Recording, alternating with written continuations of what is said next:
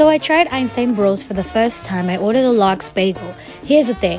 I had a lox bagel up in New York and it was the best thing I've ever had. I was craving it and we're down here from the south, so I give it an honestly 3 out of 10 for the attempt. They just went weak on the salmon and I'm a little disappointed. You know what I'm saying?